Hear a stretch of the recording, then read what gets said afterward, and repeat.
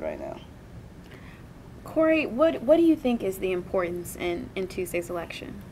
Um, I think the importance is uh, actually having people come out and, and voice you know, their concerns. And I think when they come to the ballot box on Tuesday, they're going to show what their concerns are in government. I think there are going to be a lot of races. They're going to change hands. You're going to see some incumbents who um, won't be incumbents anymore, quite frankly. Um, I think some people are just sick and tired of what's going on in government, and they need to come out and make their voice heard. Well, of course, as Corey said, the most important thing is you got to get out and you got to vote. You got to go, uh, as he said, have your voice heard. Now, I tend to believe that it's best if we continue on the path that we're going. I know things have been slow in terms of reco uh, recovery when it comes to the economy and some things domestically, but it took 10 years for us to sort of dig ourselves in this hole from both sides of the political spectrum, Democrats and Republicans in power. And you can't really expect only two years of the Obama presidency and the Democratic Congress to really get us out of that hole. I think that uh, if we have the Republicans in charge again, we'll see uh, politically, we'll see a return to some of the policies that uh, were in place during those 10 years where we were spending so much money, when uh, we were neglecting some of the uh, more domestic things that we should have been paying attention to. Uh, but most importantly, you got to get out and vote. And I think that uh, out of everything, if people want to have their voices heard, you can only have that heard one way, and that's at the ballot box. Corey, what do you think? What do you think this election is going to do for, I guess, forecasting in 2012? For um, the presidential race in 2012? Yes, yes. Well, that's an interesting question because uh, a lot of times in political science, you know, we talk about um, you know, these presidential coattails and, and you know what happens in midterm elections. Does it really forecast what's going to happen in 2012? Um, I think it will. Um, quite frankly, I think if we have an influx of Republicans, conservatives, whoever it is uh, in, in office uh, after this Tuesday, then I think it's going to be um, bad news bears for Obama um, and and the rest of the Democrats. And and again, you know, this this is a uh, party change possibly in the making, um, the way I see it. Well, this is, it's so tough to tell so far away from uh, 2012.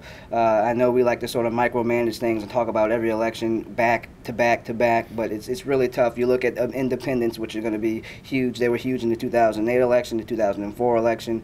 Uh, they were huge in 2006, and I think they're going to be huge again, not only in 2010, but in 2012. Right now, they seem to be shifting towards the Republicans, uh, which will most likely lead to a sea change in Congress. However, you never know where they're going to stand when it comes to uh, presidential politics in 2012. Will they still be the Republicans? Will they shift back to the Democrats as they, ha- as they have been since 2006? Uh, it, it's so tough to really uh, to gauge that this far out, but I think uh, the Republicans they're going to have some momentum behind them. I hate to say it, but we're probably going to see a loss of the House of Representatives. Uh, I think the Democrats will hold on to the Senate, but it, it's too far to tell right now as far as what it's going to do in 2012. Okay, we just want to end with one word or a few words of what you want to say to anyone who wants to stay home on, on Tuesday. If you don't vote, you can't complain about it. Well, Corey took the words right out of my mouth. Uh, get out there and vote. I know uh, a lot of you guys want to have your voices heard. Uh, you've been disaffected maybe in the last uh, several elections, but the only way to have your voice heard is if you go to the polls and vote. Thank you. Thank you so Thank much. you. Thank you. Letters, letters, and more letters. That's what filled the seats and lit up the stage at Jarman Auditorium last Tuesday. The new members of CPC and IFC sororities and fraternities sang along and danced to their favorite tunes for the annual event known as Lip Sync. And even throughout the competition, members showed Greek unity, cheering each other on. It was unreal just to have the whole uh, the Greek community just uh, to be there and support you, and it was it was a really great experience. Definitely a fun experience. It's good to see everyone come together and you know welcome our new members. It's definitely a tradition that uh, strengthens and gets larger and larger um, each year. Uh, you know, tonight Jarman was nearly to max capacity. I'm not going to be surprised if in the spring it's uh, max capacity early on. We sell out tickets early on. Um, it gets bigger and better every year. This year's winners for Best Overall were Tri Sigma and Theta Chi. The men's basketball season is officially underway. The team held its first practice Friday, October 15th. Nathan Epstein sat down with Longwood head coach to discuss the first days of practice. Sitting here courtside in Willett Hall, I'm Nathan Epstein sitting here with Coach Gillian. And Coach, heading into the season, practices have gotten underway. And uh, just basically, what are your feelings as you uh, head into the first week of practice? Well, Nathan, it's always interesting when you get started uh, to see where everybody is that should know uh, what they're doing and how they're doing it, and then where everybody is that's new and, and, get a chance to actually get in the gym and evaluate those guys. We have a, an interesting group right now. We have an excellent returning core group of players that are veterans and understand how we're going to play, what we're going to do, in combination with a, a, group of new guys that are very talented but have a way to go to learn about some of those things. So that combination uh, has been interesting. That's the best way to put it.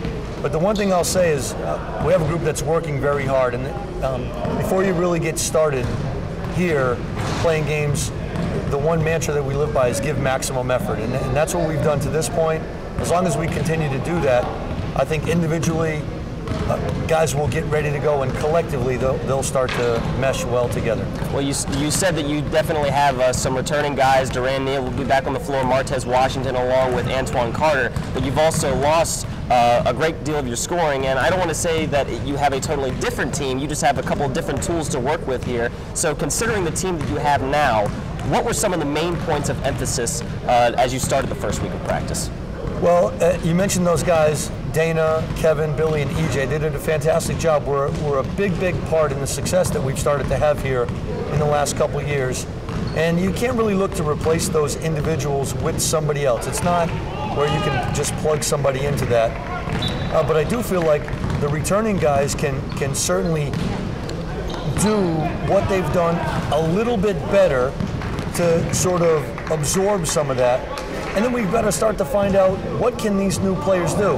And the most important thing heading into the season, of course, is you want your players to be healthy heading into practice. How is the health of your team right now? Really, really good. The guys are physically prepared and are physically prepared without having any significant injuries. We, have not had anybody miss any time in practice yet. We've worked very hard. Uh, we're not babying them by any means, so uh, we got to hope that that continues. And the last thing I will ask you is, in the first couple days, as we said before, you have a new mold of guys that you're working with, with some of the returning players. What do you think are some of the strengths and weaknesses of your team as you prepare for the first game? I think our strength is in the fact that we have a lot of interchangeable parts. Another one of our strengths is uh, keeping in that perimeter play theme. We have a lot of guys that are very talented offensively. They can score, they can shoot, and I think that will show through. Our weakness probably is in that some of these new guys need to quickly develop the abilities that the veterans have.